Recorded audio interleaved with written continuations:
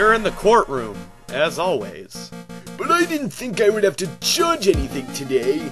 And why do I have to judge things anyway? You're a judge, that's your job. It still doesn't explain why I'm here. Well, it says here that you were invited to read comments for. Uh, Wind Waker Abridged? Oh, really?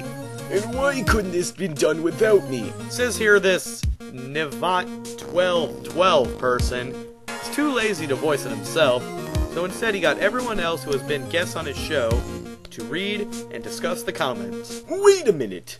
Mr. Wright, you were never in his series. And why am I the only one here? Because, Your Honor, all of the other people live in different universes! Don't you think that we should start the special?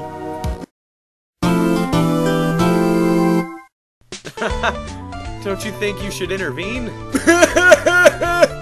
Ooh, maybe you are right. I'll read the next comment. That's not exactly what I meant, but whatever. Let's see. Thraxicor commented, The hilariousness of the noise Grandma makes at 6.43 at Gabe cannot be matched. How dare you insult this sweet old lady with your slander?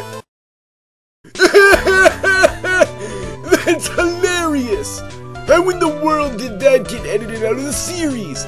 That should have been the entire video! That's what I'm talking about! That's enough of that bullshit! Let's move on to the next comment. Time Dragon X made one also on the same day, both with Phoenix Wright references. so this is this Time Dragon X person that made a reference to Mr. Wright.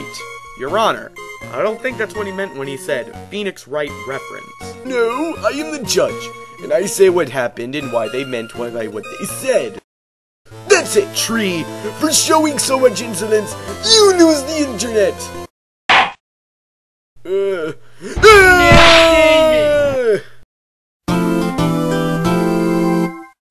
Characters from Wind Waker voiced by Nevet1212 are not allowed in this special. What?